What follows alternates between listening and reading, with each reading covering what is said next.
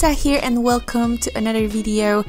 Today I'm painting a, well, a rather simple, I suppose. It's another one of those sketchbook um, experiment videos um, because I really wanted to paint um, some citrus fruit, as you guys have maybe picked up by now. That for me, this, this is kind of a comfort um, painting. Whenever I am in a bad mood or just like recently, I've been sick for quite some time. It, it's just a, a way to get me back into the rhythm of painting and just remember how to paint again. And that's for me any kind of citrus fruit or fruit and jet fruit slices. I love painting fruit slices. Excuse me if I'm coughing a little bit in the background, but uh, my throat is still itching a little bit. I've been having a cold for um, two weeks now. That's what you get for going out uh, between a lot of people when you just work from home. Yeah, I'm sorry for a little bit of, um, you know, this camera going out of focus. It's usually lately when I don't know why exactly it happens, um, but that's usually when I have a lot of white paper, so that's unfortunate. Um, something that we have to get used. I don't know why it's doing it so much. I, just I, I've learned to live with it, I guess. So what I'm starting with is just two colors, and I'm uh, making myself paint with two colors that I normally, well, I kind of love, but I normally don't use very much. I'm using ultramarine blue, but that super granulating one that I have in my third row uh, in my palette. These are my granulating colors. And the other one is that uh, I think it's a Scheveningen blue uh, from Old Holland, and that's one of those, um, as I call them, novelty colors. Uh, this is basically a very, very opaque, beautiful blue. Kind of reminds me of, um, it has a lot of white in it. It reminds me of like this watered down gouache. Um, but it's still a beautiful and also very granulating color. Well, very, maybe not the best word here to use, but it's a fairly granulating color. So I wanted to use those two just just you know to use something different see how much i can push that granulation without going nuts. Uh, as you guys know i'm still trying to make myself paint a bit more freely. So as you can see i'm slapping that paint kind of hap haphazardly around but it has um it has a pattern okay? It really has. As you can see i'm going backwards. So i suppose i'm doing a little bit of negative painting I'm going from, um, I'm leaving some shapes behind as I'm going on with another layer of those blues and I'm really adding a lot of water and a lot of paint and just seeing what what what can be done what the paint does. It took forever to uh, dry. Excuse me. It took forever to dry but it was definitely much freer painting than what I normally do. Uh, so I, I really think that it was a great, um, you know, exercise. Now, while I'm filling in those uh, shapes, I wanted to tell you something really exciting because I have reopened my Patreon. I've had Patreon a while back, but I had to uh, close it because, well, let's put it this way I had like this idea about what Patreon I wanted to have, but the truth about Patreon is that you really have to find good balance between the rewards and your time and your work.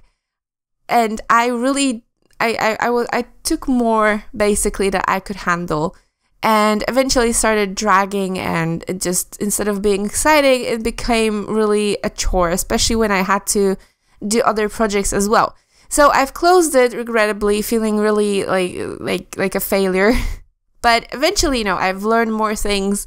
I've learned how to manage myself better. I gave it a really good thought about what kitten.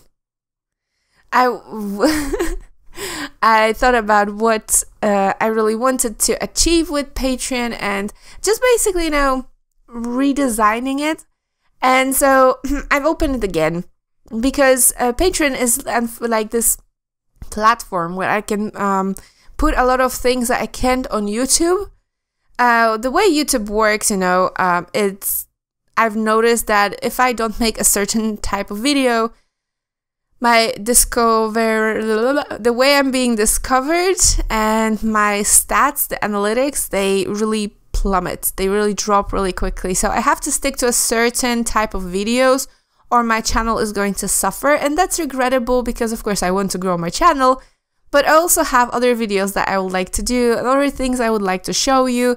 I would I always wanted to make more full-time like painting videos, but you know, these are not everybody's cup of tea and as a working artist, I have to think about the money, unfortunately. Uh, so I figured that I could have those type of types of videos on Patreon, and for a little fee, anybody who actually wants to see them could see them. So that was a perfect, you know, kind of finding that balance for me. And also, you know, it's um, I, I always wanted to try doing podcasts, so I've decided to do that as well. Um, so yeah, if you are interested in, I'm, I'm not really I'm telling you guys because this is my channel and you guys are watching me. But last time uh, when I opened Patreon, I made this huge deal about it and I made a video about it and just. And then it, it kind of, I, I put my expectations high and I feel like I gave everybody expectations. Like, now I want to keep it a little bit more calm and collected and just see how, how things go and adjust and, um, and, and learn together. So yeah, just there's a link, of course, in the description. Um, just check it out. I already put a podcast, the first one. It's an hour long, um, just a video, like you know, what you know what a podcast is, just me talking about all kinds of stuff. And I will be doing those weekly. So very very excited here. and in the background here, um, I'm still slapping that paint around. Yep. That was a really fun video. It came the the size of it was a little um, too big. I feel for a sketchbook kind of a um, you know experiment because as you guys know, I uh, don't necessarily have a sketchbook. Um, I haven't found a sketchbook yet that would fit everything I need from it. that will have everything I need from it. Um, especially that I don't know what that everything is yet uh, that well. So I often, whenever I do experiments, I will just use cheaper paper, and um, and that, that's that's pretty much that. So in this case, this is the Arteza paper. It's the backside because I wanted to try that backside, um, which is smooth, and see how how it would go, and and it works perfectly fine. Um, it's it's not Arches paper, okay, but it's perfect for experiments. It doesn't handle much water. I mean uh, it definitely buckles a lot more than I'm used to. Um, so the reason why I'm saying that it's much, it's not really good for an experiment is because it really took me a long time. Uh, well, not person, it's only an hour. I had an hour and 20 minutes of footage. Okay, so that's not. I mean, perhaps it took me maybe a total of two hours to to do this. Majority of that time I spent um, drying the layers. Drying this paper is a nightmare. Um, it really absorbs water, and because of that, it's just uh, it's really hard to dry it. Excuse me again. Um, it's really hard to dry it um, because it just it just doesn't it just keep drying it and just doesn't want to get dry. And I, I didn't really have time to do um, you know, to leave it aside. I wanted to paint it in one evening because that's what experiments are. They're just those little paintings that you do spontaneously and perhaps I've had this idea of blue fruit slices. Um, I wanted to practice um, maybe not negative painting uh, per se, but I really wanted to get more depth um, into those fruit slices instead of just, you know, painting them next to each other um, I wanted to use those two colors in something, um, and then I I wasn't on a walk with my doggy, and all of a sudden I felt okay, today is the day. I want to do it right now, even though it's 10 p.m. So that's what I did, and um, so I, I'm actually it was you know it was it's not a really hard topic to paint it was a little bit hard on me to get over that granulation and the blooms and just every single time uh, the bloom the paint blooms on me, I feel like I'm losing control over it, uh, which is, is, absolutely not true. Um, it's just the the feeling I have. Um, and the thing is that I really like the way it looks when it's a little bit more, you know, bloomed, a little bit more rough around the edges. I really like that um, that look, and you can see me actually doing it quite often here, where I'm just I'm not trying to keep the shapes perfect. That's another exercise I'm trying to implement. Uh, I'm trying to have the shapes looser. I'm trying not to fill uh, all the spaces, leave a little bit of you know white here and there. Especially here, you can see it on those little slices that I'm leaving white here and there. Or for example, I'm going to change the colors add a little bit of water in between. Um, and all these different slices, I was trying different techniques because it's such a simple painting, such a simple idea, um, so that you can actually uh, concentrate on those those elements because they are so simple. So you can have fun with them. I don't know if that makes sense, but because they're only pretty much, you know, there's there are three shapes here, two main ones. Okay, we have circles and we have those little um, triangles, which are the they're not slices, you know, they're those little citrus bits. I don't know if they're called actually. I always called them slices, even though they are not. Mm. So because I only have those two shapes, um, I'm counting that round um, peel as a shape, but it's it's not really a shape. So uh, so I'm really concentrating on um, making those slices look different. So each of them is slightly different. Um, so I'm using more water in some, I'm using more color in some, I'm mixing the colors in the other ones, using single color in some other ones. But at the same time, I'm trying to have them all um, just follow some kind of pattern so that they are similar. They all fit together. I think when you are painting these, this kind of painting uh, when um, when you want because you know this is a simple painting. This is just a simple exercise painting and you want to keep it interesting in some way because there's not nothing is going on in there. These are just fruit slices okay just fruit slices. There's nothing happening. There's no action. There's no story. They're just fruit slices. You could push it a little bit further, maybe think about where these fruit slices are. You know, why is this a fruit slice bath? Or maybe a fruit slice tea? You don't know that. I don't know that. But my point is because it's a, such a simple topic, you want to make it somehow interesting for the viewer and so that's why it's a perfect opportunity to have it a little bit rough, um, to play a little bit with the textures, to have it a little bit more dramatic, I feel. To have, I love that when the colors are very bright and vibrant. I mean, I honestly tried to paint recently with pastel colors and it just does not work for me. I really want the the juiciness to to show. Are there any blue fruit, citrus fruit actually? I don't think so. I mean, sometimes you see the pictures, but they're obviously photoshopped. I don't, I don't think there are. Um, but I, I wonder, you know, if uh, I would like to try blue citrus fruit. I have a thing for blue food in general. Blue candy. I've mentioned it somewhere before, but blue candy. Oh my goodness, I love blue candy. Just because it's blue, because it's such an unusual color that you don't often see in in nature uh, pretty much never because of course you have like blueberries um and that's all i can think about at the moment. But even blueberries are not actually blue. Blueberries have you know at least in my experience they have red juice so they are not blue. Um so i, I but the blue color I, I just like blue color. Perhaps i'm biased like that.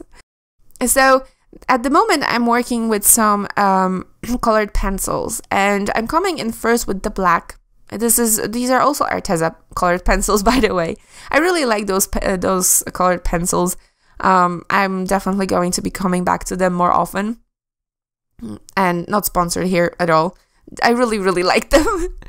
um, so this is, I think, uh, this is not charcoal. This is the noir, the darkest black that they have And the reason why I'm doing that is because the last layer of the darkest blue, I've mixed in some of that granulating black that I have because I wanted it to be really dark. But the thing about that paint is um, the two, uh, the particles of the two colors, they separated.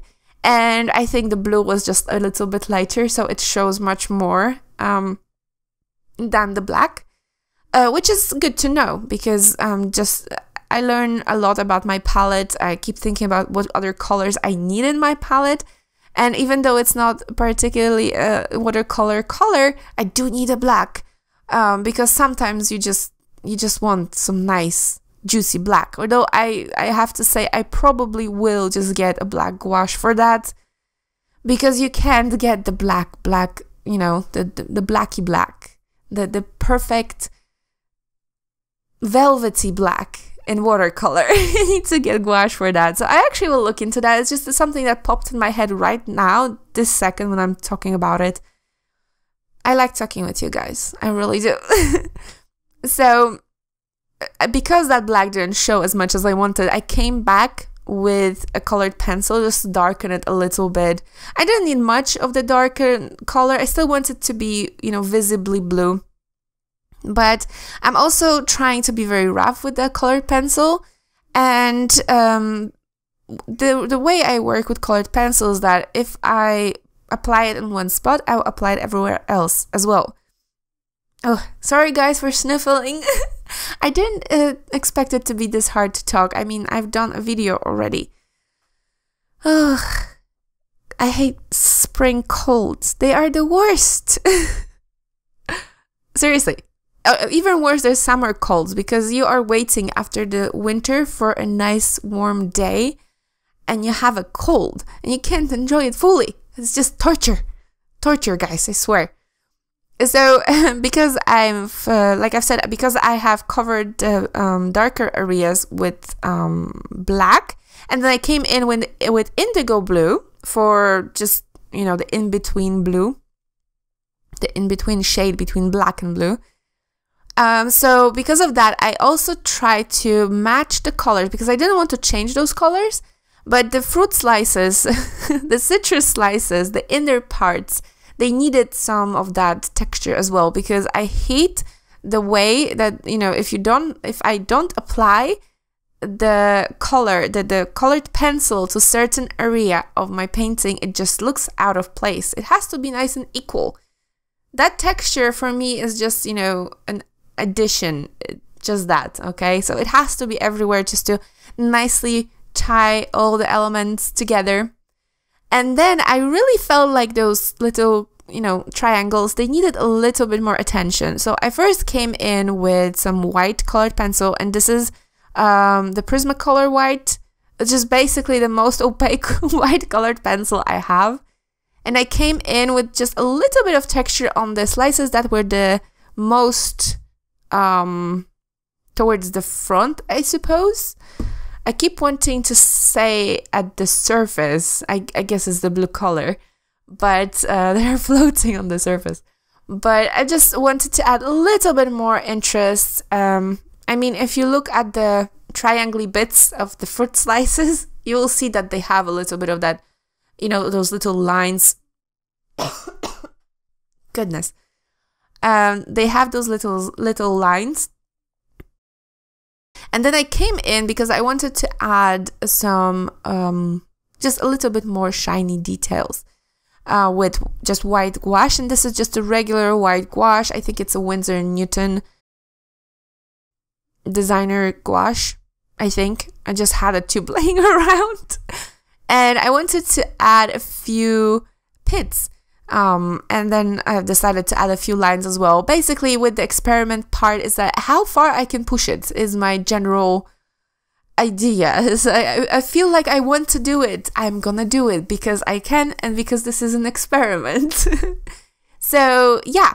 So this is pretty much the last bit. Um, this is just me trying to. I, I just kept adding those lines until I was satisfied and I tried to make them varied. So I didn't really try to be too um, careful with some of them being, you know, with all of them being the same size. I just tried to vary the size just to add a little bit of interest once again. And um, yeah, and that's pretty much it for for this video. I hope you've enjoyed this little. I know this is a different type of videos that you guys were used to from the beginning, but uh, for me, it's um, I'm still coming back from that. Uh, I don't want to say art vlog. I really don't. Um, just that unhappiness with my style. And I'm trying to just get myself acquainted again with painting. I mean, it has been getting better, as you guys know. The Arteza review uh, from with the shiny bunny, that one was a really big breakthrough for me. But I still feel very intimidated by my own paint, and that's not good, right? So I'm just trying to, you know, just paint, especially after being sick. You know, it is for me at least. If I make myself rest, it's so hard to get back on track with painting and with work and everything. you know?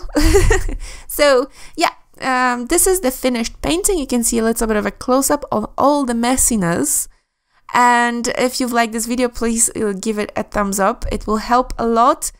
And I would like to know, guys, the question for today is what do you paint when, what's your comfort um, thing to paint? I'm actually interested because for me, surprisingly, they're like fruit slices. I mean, it's, it's just so random. fruit slices. Um, yeah. And, um, once again, I, I nicely, not naggy, I'm not being naggy, but I'm nicely reminding you that I've opened a Patreon uh, account and, and you can check it out and there is a link in the description. but on the on the more serious note, thank you so so much for being here and supporting me. Um yeah, thank you so so very much for watching guys. I will see you in the next video. Bye.